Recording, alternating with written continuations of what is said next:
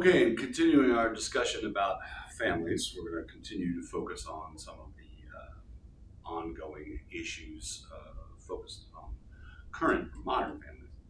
Um, again, because America idealizes itself very much as a very capitalist society, uh, with most of our solutions to problems coming from uh, things regarding the free market. This idea that if we just allow capitalism, we allow the market to operate without any kind of uh, hindrance, uh, it will solve itself. Okay, and, and that's where we, we, come up with a lot of um, you know the ideas about how to address issues.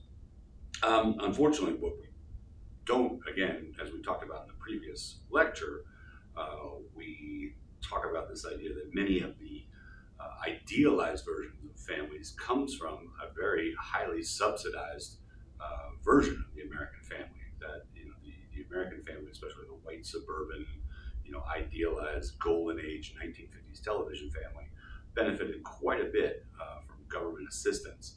Um, but then again, when we think about the, the role that uh, you know, uh, capitalism plays in the uh, idea of government regulations, is to oppose them. Okay, and that we've definitely known that the opposition of government regulations makes it very easy for the economy to change very rapidly without any kind of protections uh, for families themselves. So we've seen, you know, that when things like the economy fluctuates, moves up and down, employment rates change, uh, you know, even like we said, you know, we talked about the, uh, the depression of the early 2000s. You know, the housing market rapidly changes, um, and there's no protections built into the system to protect families in particular, then it's usually families who, uh, especially lower class which uh, suffer the most. Um, so we definitely know uh, that families are often uh, very much at the kind of whim of the economy rather than you know having a, a stable place in our society uh, with government regulation in place to protect them. Um, again, this is, this is not we don't see this around the world. You know, in many other countries around the world, many other industrialized nations, um, you know, people who lose their job are entitled to, in a lot of cases, kind of uh, permanent or ongoing access to unemployment benefits, which, if you've ever applied for unemployment in our society, can sometimes be very difficult, and as well as uh, with a lot of restrictions and a certain amount of stigma, shame attached to it. Um, other nations around the world, um, you know, uh, guarantee health or child care, not only while parents are employed, but if they're unemployed and looking for employment. A lot of times people's child care, is, if, if they do have it, is associated either with A, their ability to pay, or B, it's associated with their job. So if they lose their job, they no longer have health care, which makes it very difficult then to pursue other types of work. Um, and again, sometimes we even talk about this, like, this concept of you know, maternity or parental leave, you know, not just for necessarily the parent who is having the child, which obviously, you know, uh, uh, biologically uh, females, but also, you know, more paternal leave so that fathers can participate in child rearing uh, in a more hands-on kind of way um, at a very critical time in children's lives. So we definitely see that other societies, you know, do have these kind of regulations in place and are still very successful and, and don't have so many of the, same issues that our society does. Another issue that often comes up, especially like we said, with this kind of discussion of the destruction or you know the the, uh, uh, the deterioration of the family, is the concept of same-sex marriage. Okay, again, sociology 203, marriage and family. We discuss this in a lot more detail, uh, but I can definitely run down some of the very important uh, things here. So, marriage which we haven't discussed in great detail here, is uh, again a social construction. It's a definition of a society of what it means to make a permanent commitment. So, again, in Sociology 203, we talk quite a bit about uh, kind of the marriage premise. What you know, what is a society uh, attached to this idea of what it means to be married? But in our society, we could definitely talk about the idea that you know certainly the idea of being married comes with a lot of uh, legal and social benefits, right? Um, so again, you have the ability to file taxes together, which for a lot of people uh, is a very great advantage. You know, being able to file uh, two salaries under a single tax rate is advantageous to filing you know two separate salaries under two separate tax rates. Uh, we also know that for many people, being married entitles you to uh, know a spouse's um, or partner's um, unemployment benefits, health care benefits. Uh, we definitely know that there's this idea of a right of survivorship, uh, which we sometimes call wills, you know, but uh, sometimes those can be contested. And usually in the situation where there's a marriage, the, uh, the, the marriage partner is usually considered to have, again, the strongest case for survivorship. Um, you know, we just talk about the idea of, um, you know, even just social respect right? We, we tend to look at marriage as a very important social contract, and those people in society who are married, again, we definitely know marriage has, has, has, has changed as, as a symbol in our society, but to a large degree, we still put a lot of importance and put a lot of social uh, uh, prestige in the idea of being married. So, for all these reasons, uh, people who um, identify as homosexual or gay, uh, have pursued this idea of wanting to be married. So, again, the objections usually uh, come from religious or, or value beliefs, uh, especially regarding homosexuality. Uh, arguments have often made, you know, that marriage is about procreation. So, again, we're talking about children. That in order to be married, one of the conditions or the expectation of having children. Of course, we definitely know that the rate of, of child uh, birth in our society, as well as the size of families, has been steadily declining for a very long time, with an increased number of people intentionally, uh, you know, who might be described as traditional heterosexual marriages, making the decision to remain childless. So there's definitely a, a, you know a, argument against that notion. Um, but we definitely know through our, our, our cultures or society's history, uh, non-reproductive marriages have often been, you know, regarded with a certain amount of skepticism or intolerance. So that still carries over. Um, we definitely know that since the 1960s, our nations have been involved in what we sometimes just generally broadly call culture wars uh, between what we sometimes consider the uh, liberal or progressive left and the uh, conservative right. And you know these culture wars often you know clash uh, when it comes to topics such as these. Um, another issue that often comes up in our society in relation to modern families is this notion of children having children, or you know, teen births, teen parenthood.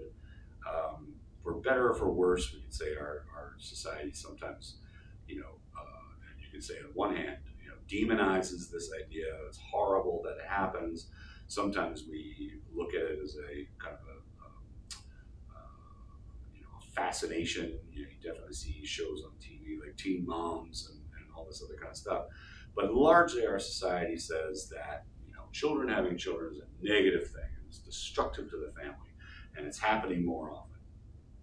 And what we really see is that uh, a lot of that social construction that we have about this issue uh, is not backed up at all by research or fact. Um, actually, when we think about this idea, people you know, often hear, you know, oh, there's more and more and more children having children, uh, you know, more and more teen parents. Um, it wasn't really ever considered a social issue until the 1970s when, when people started making this argument. Uh, but actually, when you look statistically at our population and the demographics that make it up, um, frequency of teen uh, parenthood has been steadily declining since the 1950s. Uh, U.S. has one of the lowest teen pregnancy rates in the world. Um, so this idea that this is happening more frequently now uh, is not borne out by the research, facts. Um, again, a lot of this comes from what we just talked about. When we talked about moral objectivity. Most of this objection to this kind of concept of children having children usually comes from a moral objection to premarital sex. This idea that only people who are engaged in, I'm not going to say same-sex marriage, but only people who are engaged in, I'll block it out, marriage should be having children. And again, that's a moral uh, or a value-laden uh, judgment, not necessarily a, a, a social one. Um, and again, that's a social construction, this idea that only married people should be having children. Um, again, a lot of people automatically equate teen pregnancy to unwanted or unplanned pregnancies, okay, where the statistics are 75% of unplanned pregnancies are to women over 20 years old in our society. So this concept of oh, teenagers running around having kids without realizing, or having sex without realizing the consequences of children, and that's why this is occurring, uh, again, isn't borne out uh, by the research that the majority of unplanned or unwanted pregnancies in our society are by legally adult uh, women. Um, and again, this idea that okay, if you're a child having, a, you know, a, a, you know, if you're a minor or a teenager having a child, that automatically, you know, means you're going to be destitute. That automatically means that you are, you know, uh, going to live in poverty, that you have no support. And again, it's largely unsubstantiated that many, many, many teenagers who develop a pregnancy do have the support of family and friends and other social structures. Mainly, what we see is arguments that are along class or racial lines. Okay, this idea of, you know, we see these uh, prejudices like these are against the lower class or against uh, minority or subordinate groups uh, that play up this kind of idea of children having children.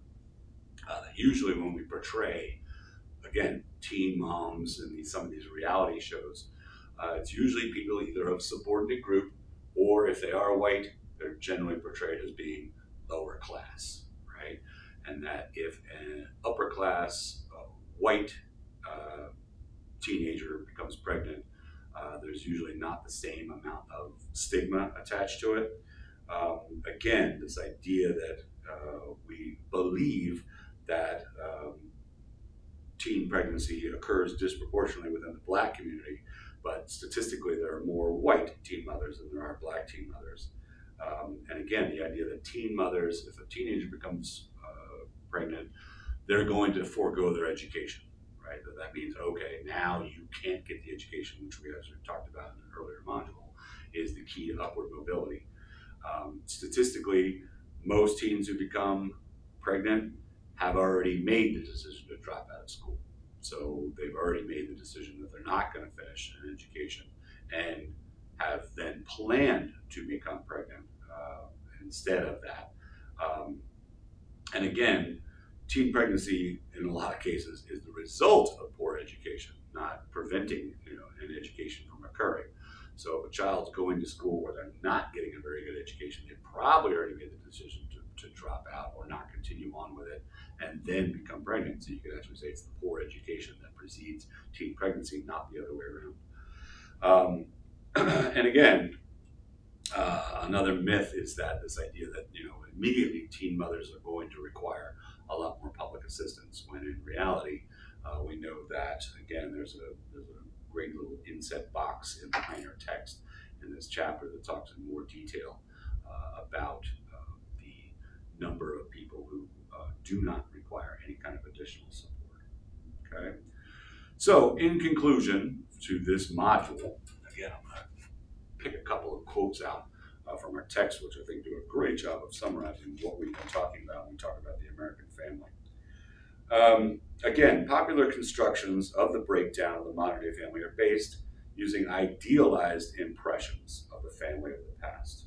Okay? Um, while family values are often proclaimed in this country to be a first priority when election time rolls around, the United States has fewer policies and programs to support the family than a great many countries around the world.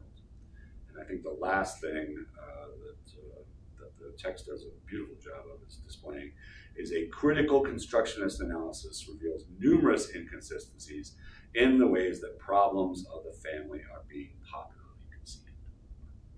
Thank you.